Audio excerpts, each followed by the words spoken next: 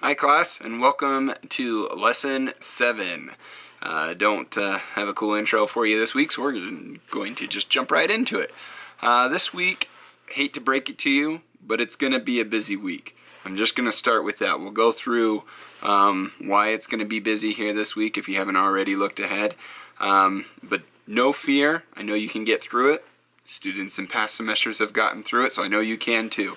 I know with it being President's Day on Monday, that kind of makes it hard because I'm sure a lot of people have the day off and probably have fun plans. So it's a busy week and possibly even a short week for you, but I know you can still get through it.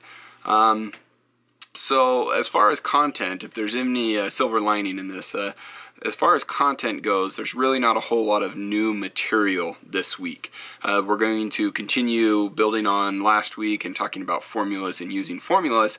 And the main difference of last week versus this week is now we are going to try and use Excel to calculate those formulas. So I've mentioned in the past that Excel can be used as a calculator. Um, some of you may already be comfortable with that and doing that. Uh, this week's going to start teaching that and you'll start using that. In fact, the very first assignment um, is is one of the exercises. I believe it's exercise um, 2.3a, number four.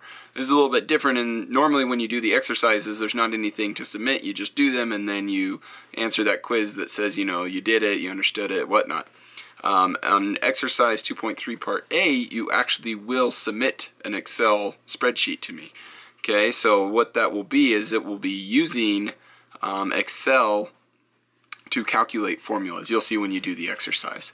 Uh, I think you do the problems by hand, like on number one, and then number four says do problem number one just in Excel, right? And the video this week is all about using Excel, so make sure you watch that video. Um, it's, I think, about 13 minutes long, and it's really good. So that's the first thing that you got to make sure you submit this week. Um, number four from exercise A, showing using formulas in Excel, okay? The next thing is your budget and expenses part two. This is where you've been tracking your budget for the last month and now you will be submitting that.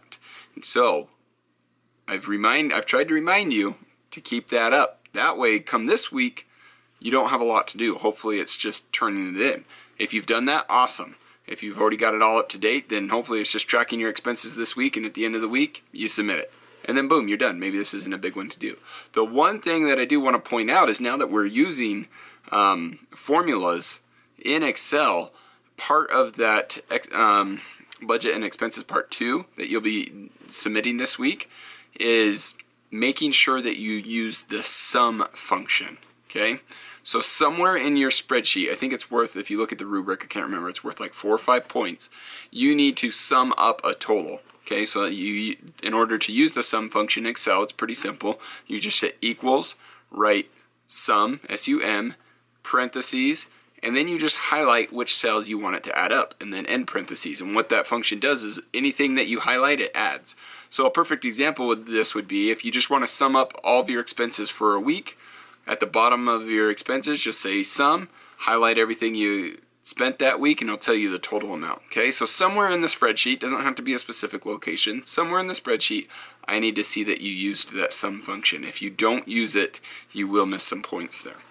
Okay, so that's the main thing I want to talk about uh, for that tracking your budget and expenses. Okay, so make sure you get that turned in by the end of the week. Make sure that you're using the sum function. So there's our two things so far that we've got for this week. Now the last one, the last one's where it might cause a little bit of heartburn, and that is we do have exam two this week. Okay, so that's why I say it's a busy week. Okay, submitting more things than we normally do, and you've got an exam on top of that, but I know you can get through it. Okay, so exam two will be just it will be similar to exam one. It'll cover um, the last four weeks, so including this week, and then um, You'll take that exam before the end of the week, and it's same rules where if you want to retake it, you just let me know. I can go in and retake it. If you need to meet with me before you retake it, we can do that. If you get help outside of working with me, that's totally fine as well. Um, and one thing I just want to remind about the retake is you don't have to retake the exam by the end of the week. Just your first attempt is due by the end of the week. So don't feel like you have to rush and hurry and take the exam. That way, if you want to retake it, then you can do it by the end of the week. You can retake it next week. Heck, you can retake it in three or four weeks. Technically, if you wanted to retake exam one, you could still do that. So don't um, don't worry about doing the retake by the end of the week. Just make sure that you get your first attempt done by the end of the week. Okay, so now there is a couple things with this exam that's kind of nice. Hopefully, this will maybe ease um, ease the heartburn over it. First is that on this one you will be able to use a calculator. So you can either use an actual calculator or if you're really liking using Excel as your calculator, you can use a spreadsheet um, or Excel as your calculator on the exam. The other thing is you don't have to memorize all the formulas, okay? You are allowed um, that formula sheet. Uh, it's in your book, or if you go back to my lesson six notes, I did put that link in there. Sorry, I forgot to do that when I first posted. Thank you. I can't remember who it was that reminded me, but thank you for emailing me and asking where that was because I had forgot to put it there. So it is back there on my lesson six uh, post. There's a link. You can download the PDF. It's like four or five pages. Uh, it's just straight out of the textbook. So those are the formulas that are in the textbooks. You can print that out. You can have that on the exam. So you're not going to be expected to remember every single formula, okay? So that's what I've got for the exam. Hopefully, um, and as far as all the material for the week, hopefully it won't be too bad, right? So um, it's really just the added submission on doing your exercise A, which hopefully will be fairly simple.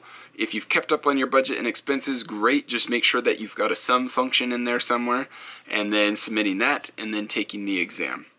Um, I did want to share kind of nothing to do with the class. I did want to share with you a little bit about a, a talk that I listened to this week. I know last week I talked about how I have a new job. I don't remember if I mentioned this in my little monologue or not, but part of this new job is that I have to commute quite a bit more. So before I was only like 20 minutes from work. Now I'm commuting about on average about an hour each way, so about two hours every day from work. Um, so that has been a bit of a, a, change, and it was probably my thing I was most nervous about going into this job was was I going to be able to do the commute, and then you know how much extra time that takes away from being with my family is sitting in a car. So there has been one nice thing though about my commute is that with that I've made it a point that every morning um, I drive to work I try and listen to to conference talks um, two or three conference talks, and then also sometimes the Book of Mormon. So that's been really nice because it's just kind of a nice way to start off the day. I usually leave my house pretty early in the morning, and I listen to conference talks on the way to work. It's a really good way to start my day. I've I've actually really enjoyed it. Um, and there was a talk this week that I wanted to share with you. It really uh, it struck a chord with me. I really enjoyed it, and it was by um, Elder Christofferson this last conference. And I don't remember the uh, the uh, title of the talk. I probably should know that, but um, I mean I the main thing I really liked about it was it was just point blank. It was you're either in or you're not, right? You're fully committed to the gospel or you're not, and um, and it just really resonated with me, and I, I really enjoyed the talk. So I'll link I linked the talk below. You can go and read that or watch the um, the talk if you'd like to. It's not required. Um, but the the thing I you know i got thinking like man why do, why do I really like this talk?